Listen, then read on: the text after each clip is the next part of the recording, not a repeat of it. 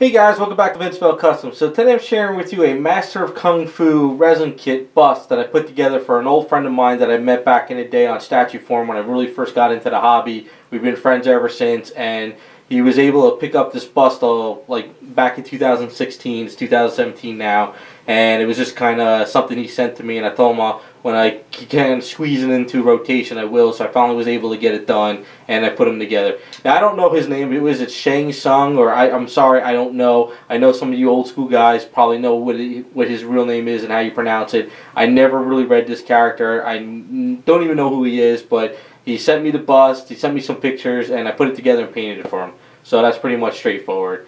Uh, fairly easy bust, uh, really cool. I don't know when it was produced. I don't know if it's an old kit or if it's a new kit.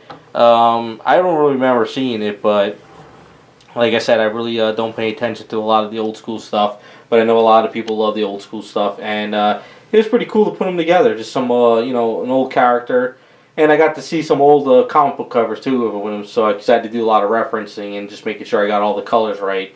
But uh, pretty cool. Uh, the way he's broken down is the body is one piece, the hands uh, at the right at the end of the cuffs are separated. This sash is separated.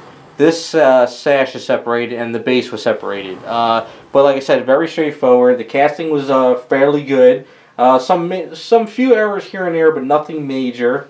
And uh, I mean, straightforward paint up. Um, Garage Kit uh, flesh tones.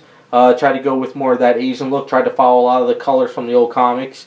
You know, simple red shirt, yellow trimming with some orange uh, pearlized hints on those.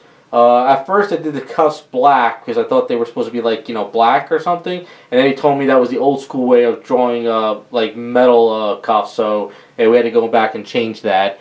And uh, but the bust didn't have it, but I guess in the comics he has that you know yin and yang symbol on the back of his shirt, but this bust doesn't have that. But the yin and yang symbol was here. So uh, after some uh, what he told me he wanted, he's like can you make it look like marble or granite broken, but add the colors of white and blue to make it look like the symbol? So I was like, yeah, that's not a problem. So it was just a matter of doing like, you know, my basic granite, dry brushing, and then doing a wash of blue on the inside and a little bit more dry brushing of white on the other part of it to get that yin and yang. And it worked out pretty good. Um, other than that, uh, pretty cool kit. Uh, I know, like I said, if you old school guys know this character, you probably like to see him in a 3D form in a bust. Uh, like I said, I don't know any more information other than that, that he sent it to me.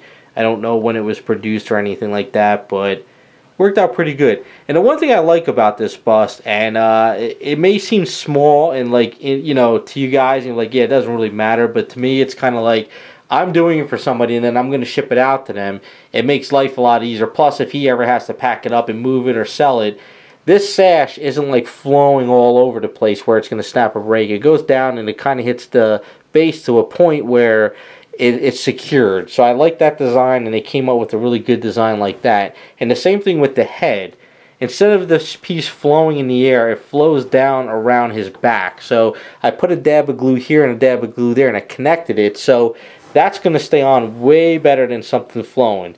Like I said, I know that's not really a big deal to some of you guys, but when you're putting kits together and you got to send them out to people, it makes a world of a difference. Plus, if you're a collector and you know these little fragile things on custom bases, uh, custom busts or statues that you know you don't have a box, a professional box from a company that's designed to hold it so it doesn't break, it makes life a lot easier.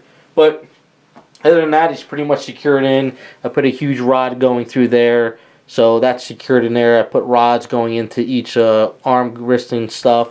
So that worked out. And that's it.